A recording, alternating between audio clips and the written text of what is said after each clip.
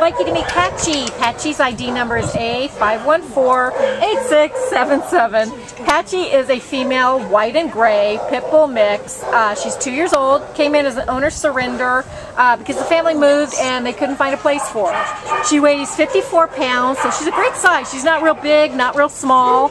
Um, and you can see her name Patchie. It came from, um, I believe, her uh, patch over her gray eye. She's got gray around her eye there.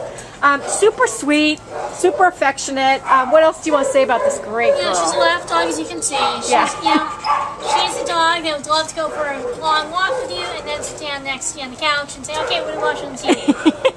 um, she's just a spectacular girl.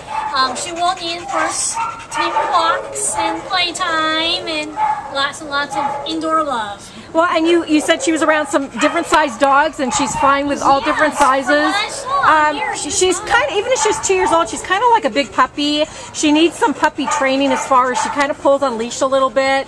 But um, super curious, super sweet. She really wants um, your attention, and as you can see with Kristen, she loves sitting on her lap and giving her kisses. So this dog is just, she's spectacular. Yeah, she really is a gem. Um, you know, and with that, that little patch over the eye, it's just adorable. So please come down and meet Patchie. Her ID number is A514-8677. Goodbye, Patchie.